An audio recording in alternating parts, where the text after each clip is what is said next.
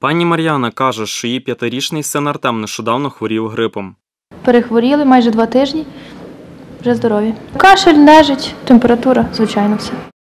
Зростає кількість хворих серед дітей шкільного віку. У Тернополі призупинили навчання у двох класах. По результатах моніторингу захворюваності на ГРВІ і грип, який проводиться щотижнево, згідно державної програми по нагляду за інфекційними захворюваннями, треба сказати, що показник на сьогоднішній день склав 576 на 10 тисяч населення. Це складає приблизно 84,5 до порогового показника епідемії. За останній тиждень на Тернопільщині кількість хворих зросла майже на 33%. Госпіталізували 157 осіб.